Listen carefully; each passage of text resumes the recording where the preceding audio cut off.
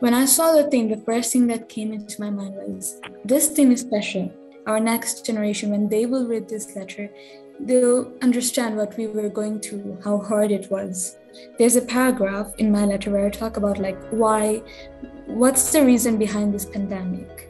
So I always thought maybe um, this is nature taking revenge on us. Maybe it's because we are hurting nature, nature is hurting us back.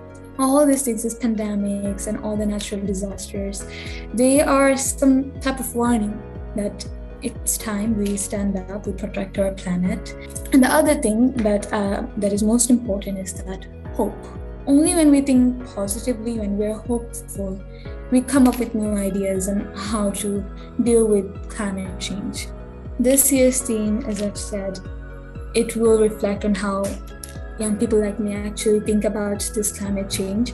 And um, who knows, this year we might get new ideas. And as for my advice, I'd say stay true to your words.